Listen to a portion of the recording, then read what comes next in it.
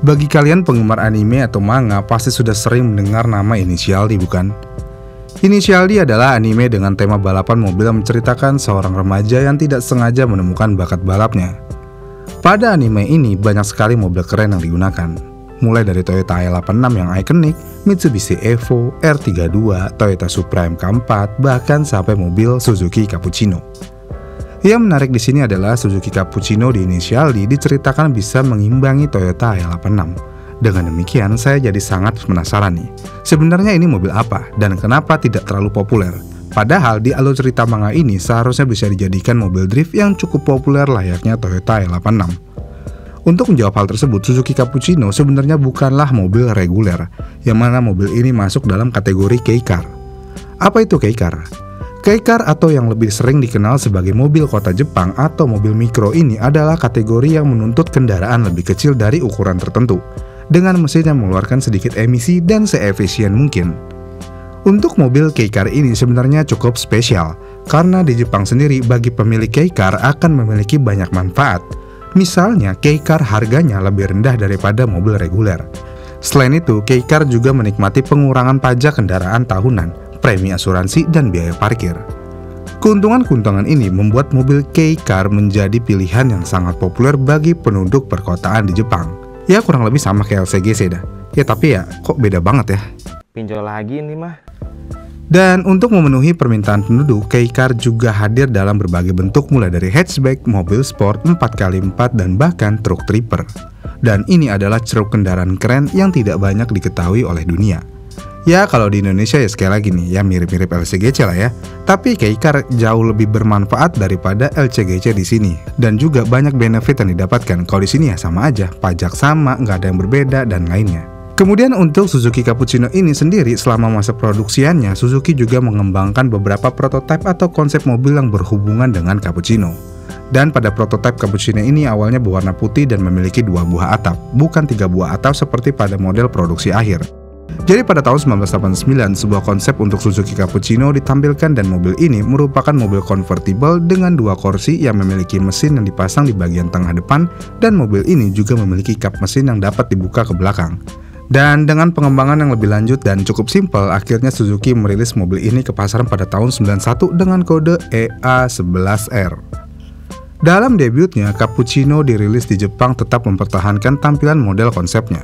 Model ini memiliki mesin F6A 3 silinder inline 657cc dengan penggerak roda belakang. Di pasar domestiknya, mobil ini cukup favorit. Bahkan saking favoritnya, akhirnya Suzuki Cappuccino ini diekspor ke Inggris pada tahun 93. Tapi hanya dengan jumlah yang sedikit yaitu di 1182 unit aja.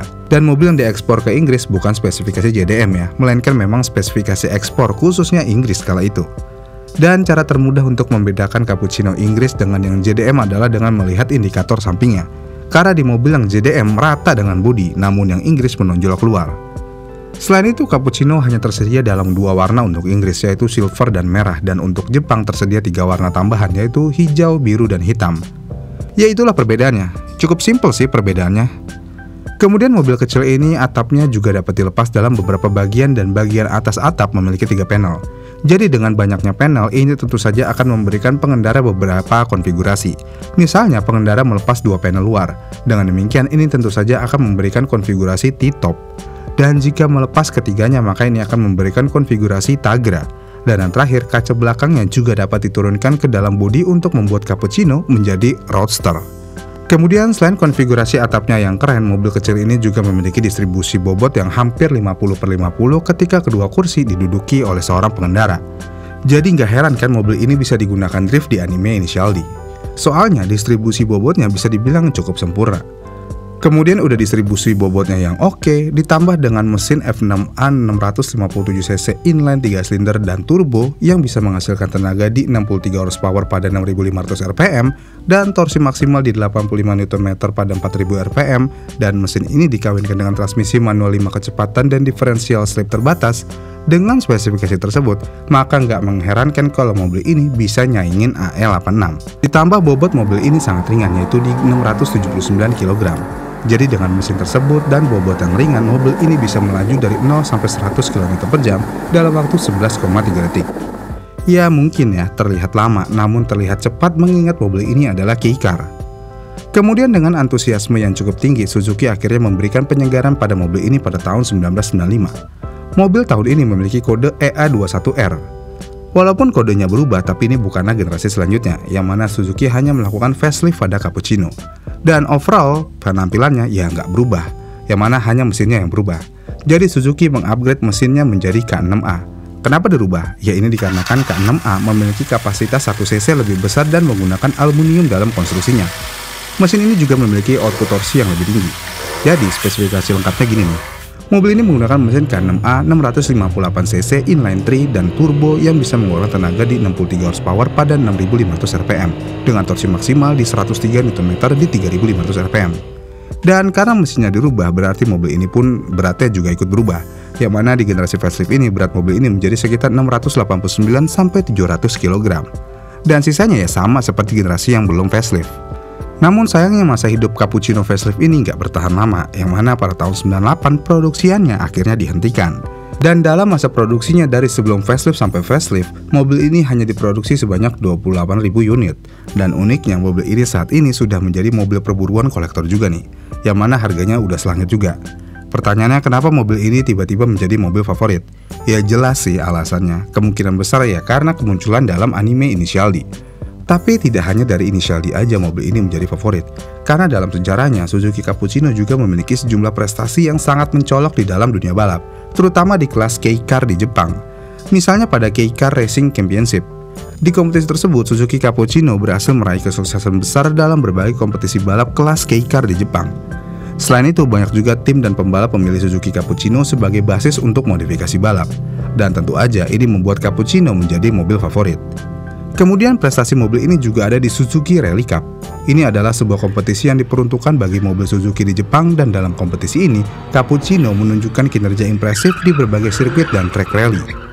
Kemudian pada kompetisi klub dan acara balap lokal di berbagai daerah, penggemar dan klub pengguna Suzuki Cappuccino sering kali juga menggelar kompetisi atau acara balap lokal. Dan Suzuki Cappuccino sering kali menjadi mobil yang diandalkan oleh para peserta dalam acara-acara semacam ini. Ya kemudian selain di dunia balap, untuk dunia modifikasinya mobil ini juga cukup enak dimodifikasi. Mau jadi sleeper bisa, mau racing look bisa banget, mau roadster bisa banget, mau Hella Flash bisa juga. Ya intinya dengan bentuk yang kecil, mobil ini enak aja diapain. Ditambah sekilas mobil ini mirip sama Mazda Miata, tapi versi kecilnya. Dengan demikian mobil ini menjadi sempurna banget buat para modifikator. Tapi entah kenapa ya, Suzuki Indonesia malah impor Suzuki Espresso. Tampilan mobil ini bukan selera semua orang banget. Bahkan banyak yang beranggapan kalau tampilannya sesuai dengan namanya, yaitu espresso, yang berarti kopi yang sangat pahit. Bikin kopi biar viral. Kan berbeda ya sama cappuccino yang notabene ini adalah kopi yang manis. Ya emang ada-ada aja sih Suzuki. Sekalinya keren ya bikin mobil ya keren, tapi ya kalau sekalinya pahit ya pahit banget. Bagaimana nih menurut kalian? Keren nggak sih cappuccino ini? Apa kerenan espresso? Komen di kolom komentar di bawah ya. Jika kalian suka dengan video ini, kalian bisa like dan subscribe channel ini dan sampai jumpa di video selanjutnya.